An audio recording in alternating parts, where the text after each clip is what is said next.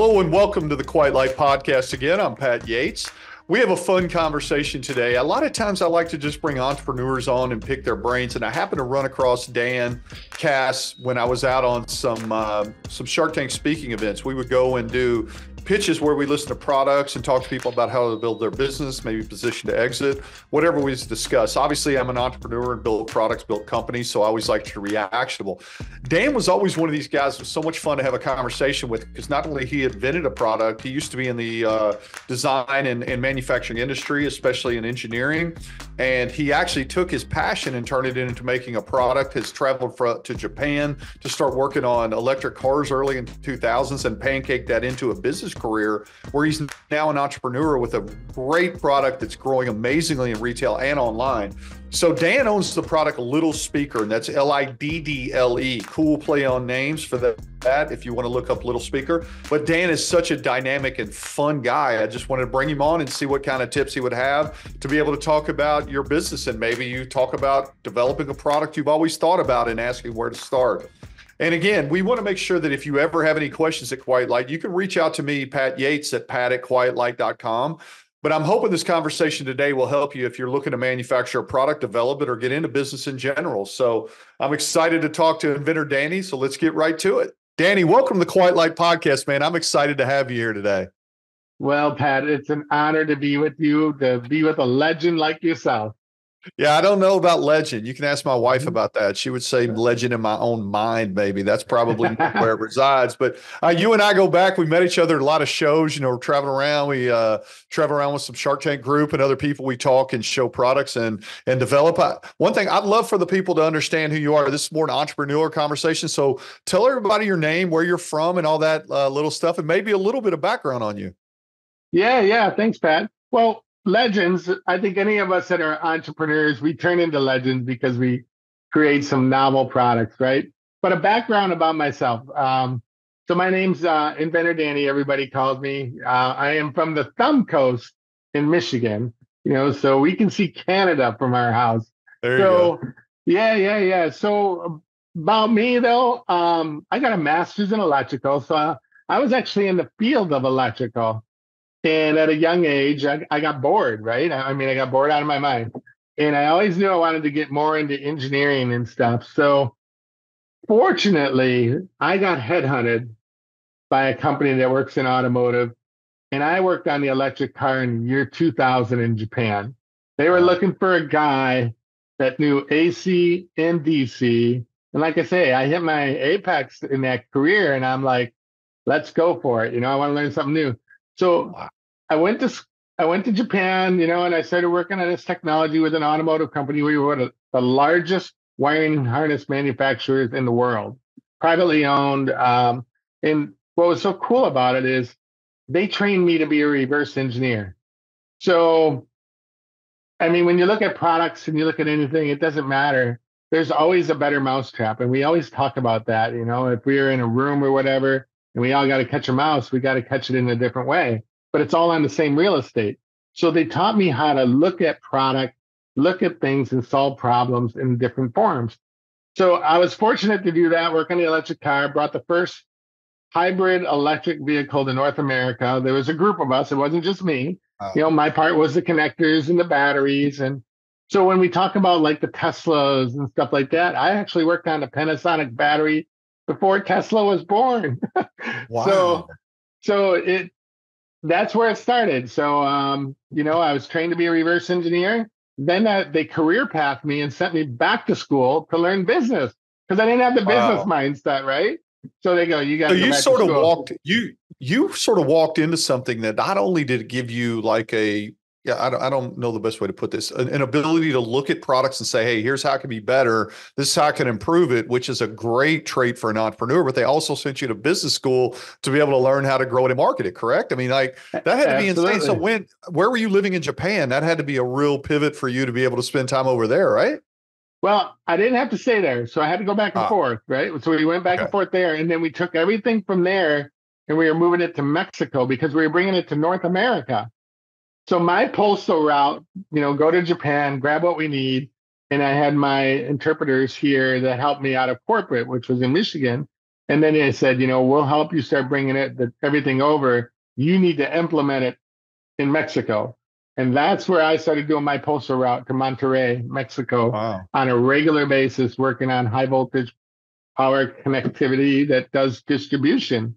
So but that's where it all started. Uh, working that, on all that. That has stuff. to be that had to be kind of wild to be on the infancy. Like I, know electric cars were worked on before that. I get it, but it was a developing technology. wasn't that big. That had to be kind of fun just to go through that process at that time, right? 24 years ago. Everybody talks about electric cars wow. today. I worked on it 24 years ago. So I tell everybody I feel like one of the pioneers, right? That actually worked on this stuff. But it, it taught me so much. And my people I work with were my greatest mentors because they they walk me through my weaknesses. I mean, we all have our strengths and weaknesses, and that's what you really need to find out. And so when the the, the crash hit, you know, that's when uh, you know my automotive days were kind of done, just like everybody else when they started falling down like dominoes, right? So because that's what we are, that's what our state lives on is automotive business. But um, fortunately for me, you know, I was picked up uh, right away and I was relocated again out in Denver, Colorado. Um, I was uh, I was headhunted to go out there and uh, work on renewable power with battery technology, right? And wind energy, solar, and energy storage. So, and I got I got picked up a couple times. I became a single dad out there raising two boys. My boys wow. were seven and eleven when I started raising them myself.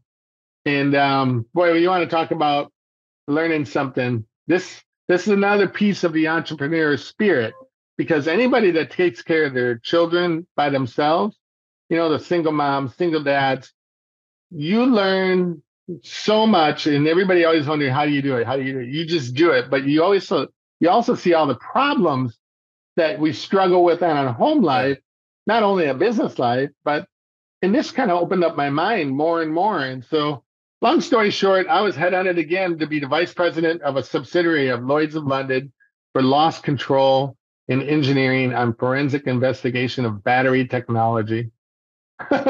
so you had to make that, right? you made that change and now you're working on a new progressive thing and you had family stuff. I agree with you that sometimes you know especially motherhood and fatherhood even if you have a team out there it's not the easiest thing. So that had to add a little bit of stuff there. Let me ask this question about the time you were spending in japan. Was it was it the electrical manufacturing or all the manufacturing and, and design you were doing or was the business training what you picked up the most on? Was was the was the business something that projected you to go on and decide hey i'm, I'm going to stop thinking like an engineer and i'm going to think like an entrepreneur. Is that when that really kicked in, or was it before that? Yeah. So, well, going to Japan, you know, I mean, we, I was thrown in. You know, I, I was one of the late guys coming into the game, and uh, but we knew it was coming over.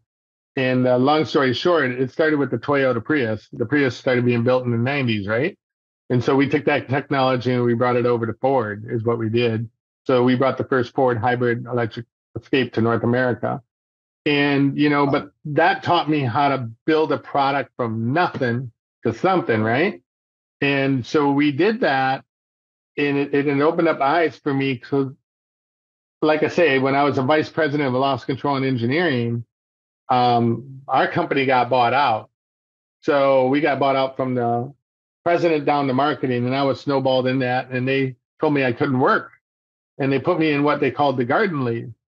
And so when I couldn't work, I'm like, I, I just can't sit still. I'm I was happy to take care of my kids, but that's when I started inventing for myself, and that's when it took off. Wow, that so progressing into that and understanding the business obviously stoked your fire a little bit. Now, you talked about the time you were in Arizona and you worked on a lot of stuff that had to do with batteries as well. When was it that you first took your own entrepreneurial step? I mean, maybe it was in conjunction with working with a company as a side hustle, or when did it when did it first kick in for you that you knew you could create products, especially at the consumer level? Uh, well, in the automotive side, it, it actually started in 2005. So we actually, so we're working on some mandates, which um, we call it the ROHS, which is the restrictions of hazardous substances. My job was to design a cable that met those standards that we could actually recycle and use something, make it lighter, um, make it go faster, tra- transfer more data through. And, and I did. So, but I did it with a guy I met, and um, I ended up working with him on a, like a side gig um, and that's how it really started in 2005. But I didn't really take the big, uh, the big step by myself until um, of my own patents and technology in 2015. That's when I started filing patents in my own name. Wow. So you're almost a decade in, in, in, doing your own products, and obviously from the things that you learned. So I know we're going to go into the Liddle speaker in a minute, which is one of the cooler names I've ever seen. Just so we, people will know, we'll talk about that in a little bit. Was this the first product you did, or what were some other products that you invented? Did you just go out and start making things and seeing if they would plug into business? No, no. So um, the first thing I did is I created a shelf platform that goes by your bedside and I, I patented it for, in audio, video, and electronic charging technology. So what I did by that, think of a table by your bed. It slides underneath your mattress. Yeah. Set your phone on there, set your electronics on there, it will charge. So I came up with that and I own all that real estate in those areas. In other words, you can charge multiple devices at once. You could watch a movie on the ceiling. You could have a speaker that was built into the bottom of it to allow you to hear the Bluetooth connectivity. So that's part of my patents. And not only did I do it for that, and I always remember my Shark Tank days because I watched Shark Tank just like everybody from year one. And they always say, Lori, Lori, one of Lori's favorite things, always make something that's from kids to adults. Right. And so I had the adult things covered. So I said, okay, I got to make the kid thing. Well, I designed Mickey Mouse, which was the Mickey Mouse shelf for Disney, and I actually have that in a patent. And not only did I design that, they liked me. I designed the product for the movie Toy Story. Also, then I started working with the Simpsons at Century Fox on designs for them, and then we were working on stuff at Warner Brothers. Uh, long story short, the pandemic struck, you know, and then uh, that took care of that stuff. but in 2020, Pat, I got to be honest, we were the second hottest startup worldwide at Consumer Electronics Show with that shelf that did audio, video, and electronic charging. Our name wow. was listed next to GE in the smart home area. And everybody said, never seen an all in one product that can do that. So, and, and I got patents. Like I say, I got patents in audio, video, and electronic charging technology. Some of my patents are infrared and radio frequency technology, where you actually harvest the energy out of the air and you convert it to DC, where we never plug in ever again. That's the patents I hold. Wow. So so then you you've invented some products, you took some out, maybe some were successful, some weren't. Let's let's fast forward a little bit.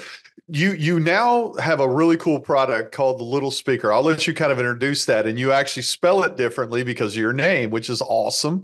And the whole yeah. product. So how did you start the idea for this? You see a lot of electronics out there. You're clearly an electronics guy. You got into the speaker thing, uh, Bluetooth with phones. Tell us all about that because I was fascinated by the product. I use it as well. Yeah, you know, that product I just talked about, our IntelliShelf, had the speakers molded into the bottom of the platform.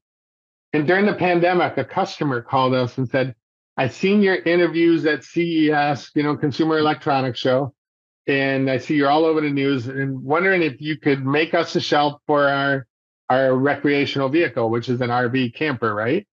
And they go, but we would like to see the speaker if you could remove it so they can take it outside and use it by the campfire or take it uh, to the picnic table. And light bulbs started going off, Pat. And I'm like, okay, here we are. Uh, the iPhone 12's coming out, right?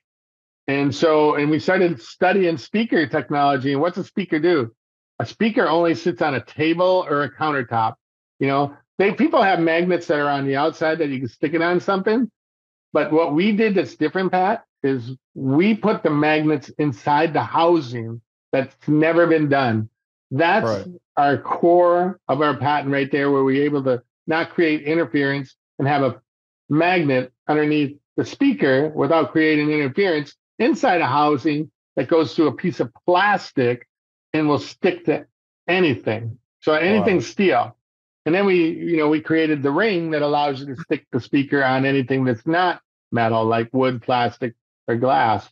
So you get two of those adhesive rings also. But that's where it came out from. It came out from a customer call during the pandemic to create this product. And we just studied it. We had a lot of time on our hands, and that's how we came up with it.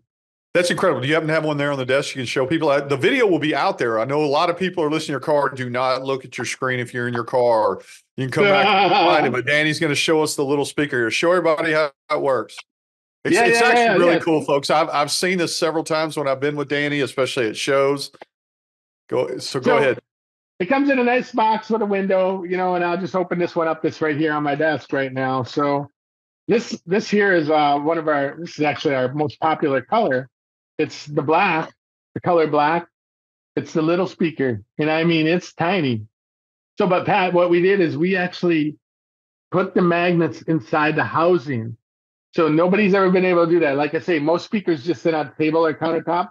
We put it inside the housing and I can stick it on anything still. I can put it on my car bumper, my barbecue grill, my refrigerator, anywhere. And wherever, Pat, this is the most coolest thing.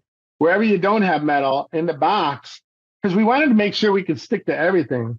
So in the box, we give you these little adhesive rings, and I don't know if you can see them or not. I'll bring them up close. Yeah, we see. Gotta go this way. So yeah. you just peel and stick. So this is sticky. Look, it's stuck on my finger right now. See it? Right. So wherever I put this ring, the speaker will stick. So, you know, since everybody's watching here, I put one right on my shirt for you, right there. I know it's black, my shirt's dark, but check that out. There it is, Pat. Now I can hear you singing out of your chest. That's that's something. that's it. That's so, so, awesome. So, folks, remember too, this is Liddle speaker. You can find it, you know, online at L I D D L E, not little like L I T T L E. And tell them how you came up with the name. That's fun. Wow, uh, the the names the name is interesting. So my my son, uh, my youngest son, we just took him to, uh, you know, we moved him into his college dorm at a university called Embry Riddle University. Yeah, part of which it. is in in Daytona Beach. So my my two kids are pilots. So we took our kiddo down there and moved him into Embry Riddle. And everybody's going, Welcome to Riddle. Welcome to Riddle. You gotta remember, I'm inventing this thing at the same time, trying to come up with a name. And uh, and I'm like, Riddle, Riddle. I said, I kind of like that name. It's got it's got a little slang, you know, and I'm like, light bulb just went off. I'm like, my speaker's little, you know, and that's, that's how we did it. And that's it's just a play actually, on words, but it's so yeah. easy to remember because it actually defines the product in a fun yeah. way that's a little different. I just think that's amazing. So let, let me ask this: as you it, you know as as you get going through your business venture, so you were a, a, product engineer, then you went to business school, but you had not been an entrepreneur. You said even until 2015. So you come up with this product that's obviously super successful. How did you learn the rest of it? Did you just was it baptism by fire? Did you work with any mentors? How did you decide? Because I think a lot of people out there are sitting thinking, how do I make the leap? I'm an engineer too. I'm sitting at my desk nine to five, nine to five, nine to five, yeah. and I can probably do what he's doing. What made you take the leap? I think that's one thing people would really want to know. I think uh, I, I, was I was gifted in a couple ways. One, understanding and seeing things different, you know, as a reverse engineer, and then two, being trained also to be a technical sales manager. So whatever we built in my automotive days, you know, we had to we had to sell it, you know, to the big OEMs of GM, Ford, Chrysler, whoever it is. So communicating with people became a natural to me, and selling something that we invented was a passion, and that's kind of like the entrepreneur spirit right there. So. So it didn't matter what I made; it was my baby. But I wanted to tell the world about it and show all the features and the problems that it solved. Right. So yeah, it was a learning curve. There's no doubt. I mean, especially this is the most important thing, Patton. And going back to what you said about people working in front of their desk every day. When I worked for a company that was $17 billion, you know, I went to a trade show. Everybody knew who I was. They were looking for me, right? They wanted to talk to me because I'm working on futuristic right. technology. When I went on my own, I thought I could carry that same torch. Here I am going to my first trade show, you know, and it's like nobody knows me. I was a nobody. So I had to learn how to market myself, market my brand, market my name. And and so we started learning ourselves from all our mistakes. And what we we learned that works for us is we use PR for uh, traditional marketing. You know, I have a PR group, and then I do my digital marketing. Uh, you know, for social media and stuff. No, I hired out people for social media, but I'll tell you, Pat, no one knows your product better than you. So you should really be the brand ambassador if you want to be your own entrepreneur. That's the way it works for us. That's why everybody knows me as Inventor Danny, you know, the Liddle speaker guy. And so because I brand it, brand it, brand it. And so what did it, when they search it, they find it. And my name's everywhere. They write articles about me. They do interviews just like you. And it's it helps build my SEO. And that's what carries me.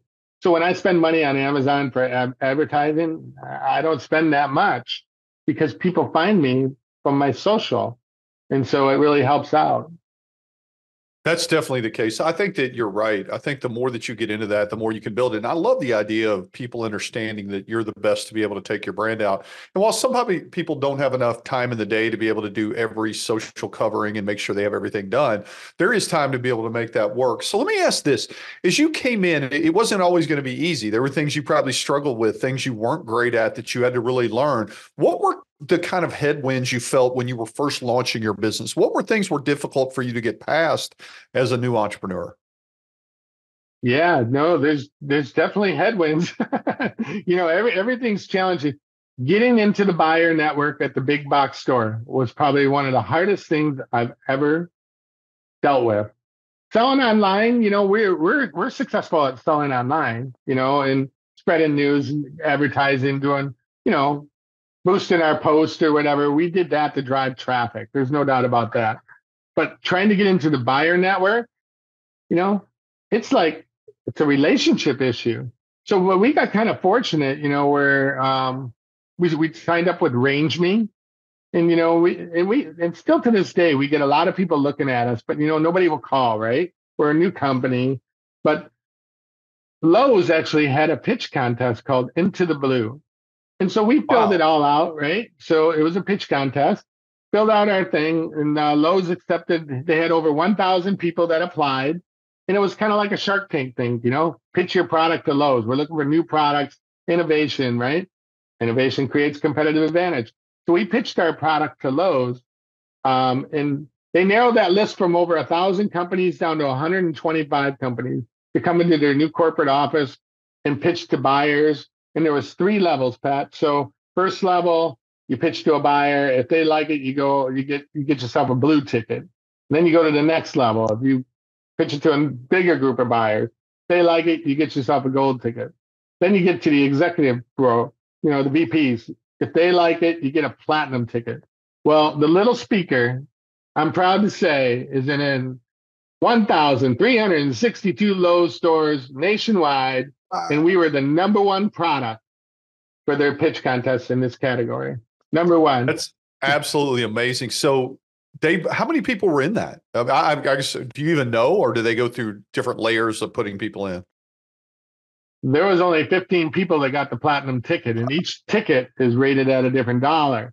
So when we did it, because we were year one, it was like fifty thousand dollars for gold, hundred thousand for, or no, was, uh, I'm sorry, fifty thousand for blue, 100000 for a gold ticket, platinum tickets with a $200,000 purchase order. Well, Pat, I can honestly say that my purchase order was more than two times that because they loved our product so much. So we did really, really well. And, you know, I just had my call with my group there. We sold 28,000 pieces in a matter of six weeks. That's so incredible. for the holiday. So your sell through's been good too, and you're getting ready to expand that. It's amazing. Yeah. So and once we hit that, yeah, once we hit that sell through, now you know what's happening, Pat. I just had other retailers reach out to me. I didn't have to call them. now they all want to be a part of it. It's amazing, amazing, because what what set you on the process of that? How did you find out that from Lowe's, or was it just publicized? Did you find someone that told yeah. you? Yeah, no, it was publicized. Um, actually, it was on our RangeMe. So we signed up for a company called RangeMe, where you submit your product in, and you know you can submit it to all the buyers. That's the only way you're going to get in. But it's still a relationship thing. And so RangeMe, um, we actually did RangeMe for free. Today we are members of RangeMe. Now we are members. And um, but yeah, that's how we got through. We that's because you know entrepreneurs we we don't have a lot of money. You know, we're we're trying to get our product off the ground and do is working out of our living rooms, right? And so um, but that's how that's how we did it, and it's no difference when I took this to market for the first time. I tell everybody the same same story. You know, I don't know if it's going to sell. I don't know if it's going to sell.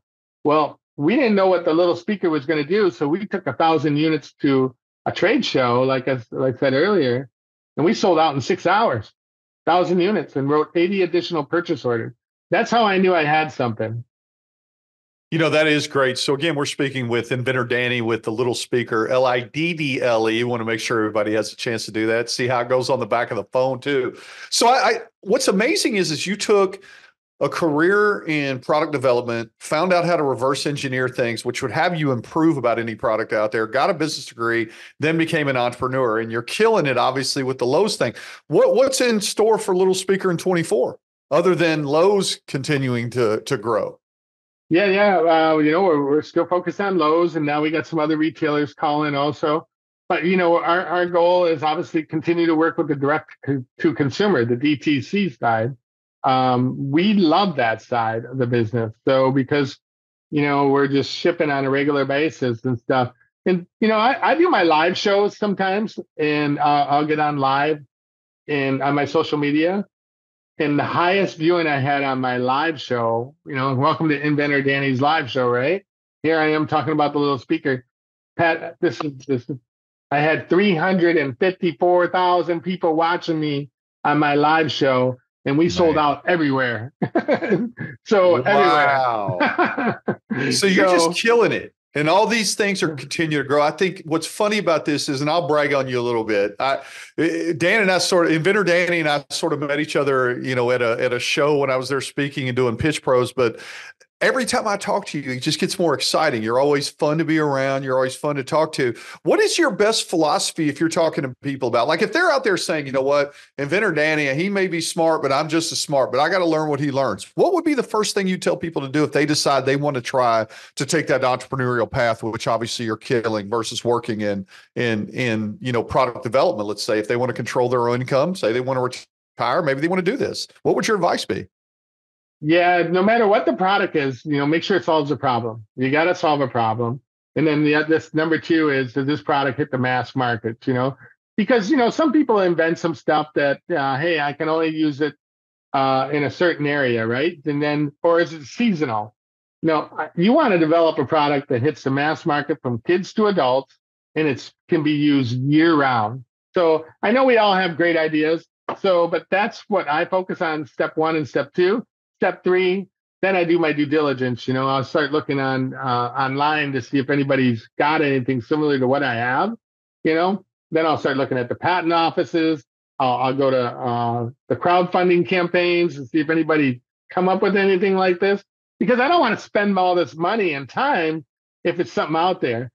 But I'll, I'll be honest, Pat. It doesn't matter if something's out there and if you can make it better, you can reverse engineer it and get around a patent there's there's always a way. It's the guys that have the continuation patents are the ones you're never going to get around. And those are the guys like me. Because most people only file one patent, they get it, and they they think they got 20 years of coverage. Well, Pat, I filed my first patent in 2015. That product's still not fully accepted to the market, right? Wow. But my continuations of that product, which created the Liddle speaker, references back to that date that gives me an extra 20 years. So I just got another patent on that shelf platform uh, in December of 23. So now I'm good to 2043 with my patents. And that's where you, nobody can get around me. Great idea, right? Even though I'm not taking it to the market yet because I'm so absorbed on this, but um, you can, you once you build it, you build off it. You create your tree of where it can go, where it can be, and stuff. And that's how you get multiple patents and claims. And everybody says, "Hey, I got a patent." Well, that's great, you got a patent, but what does your claims say in your patent? Because that's where guys like me will say, "Well, he only claimed this, so you know what? I can claim X, Y, Z. So and get and get around it. Yeah, you know, that's great advice. We always tell people trademarks and patents are so big if you're coming into selling Quiet Light, Obviously, you've taken care of that, something we always encourage people to do. So let me just a couple other questions and I'll kind of sew this up. Are there other products you're working on, alliterations of this or other things to bring to market? Uh, that could be completely different. Yeah. You don't have yeah, to give yeah. up trade secrets, by the way, if you're working on something, but just curious No, what no, else I, going I, on with I you. can, I, I can tell you what's cool about the Liddle speaker, Rev one of the Liddle speaker. You know, we we transfer data two times faster than older speaker technology when we came out with this in 20. You know, we, we started developing in 21. So we transfer data two times faster when we go four times the distance. In other words, I can be 30 feet away. But I can also, Pat, pair two of these together to give me total stereo surround sound. So I could take two speakers, put them together, have surround sound. So what we did, what we're doing in 2024 is we're actually coming up with the one speaker, and it's called the Liddle Speaker Pro that's coming out, where we actually uh, it'll be two times louder, and it will have a microphone in it. It will have wireless charging in it, um, and a bigger battery to last longer. That's we just passed our last audio test. Now we're going into full uh, tooling for it. Should be ready within about six weeks for the first prototype, and it's coming. I expect you know May one it'll be out the door. Somebody will have it in their hands. That's amazing. So you've got so much great stuff going on. And obviously, you know, we're working with you a little bit to try to help you get some other marketing help. If people ever need help, they can always reach out. But so, Danny, if people want to get in touch with you, I, I know you're probably on LinkedIn. What's the best way to reach out if they wanted to talk to you? Yeah, you can find definitely find me on LinkedIn. You can go to our website, um, you know, liddlespeaker.com. There's an email right there that connects us right to our house box. And I do get a lot of people asking me, you know, hey, I want to work on some stuff. And I'll, I'll tell you, Pat, you know, I worked on some stage shows with you now, going out there, being a public speaker at trade events.